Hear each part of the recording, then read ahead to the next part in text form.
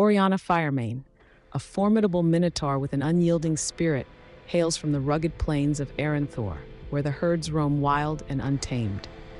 Born into the Firemane clan, known for their distinctive crimson fur and fierce combat prowess, Oriana displayed exceptional strength from a young age. Her father, the clan's chieftain, nurtured her martial prowess, training her in the ways of the sword and survival.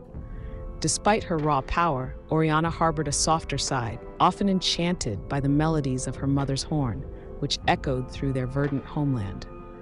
Tragedy struck when marauding orc bands invaded their territory, seeking to dominate the region. In the brutal conflict that ensued, Oriana fought valiantly but was ultimately overwhelmed, witnessing the death of her parents and the scattering of her clan. Captured and enslaved, Oriana was taken to the distant, oppressive city state of Morn Hollow, where she was thrown into the gladiatorial pits. In the arena, Oriana embraced the path of the Berserker, her rage becoming both a weapon and a shield. Each bout honed her skills and deepened her resolve to break free from bondage.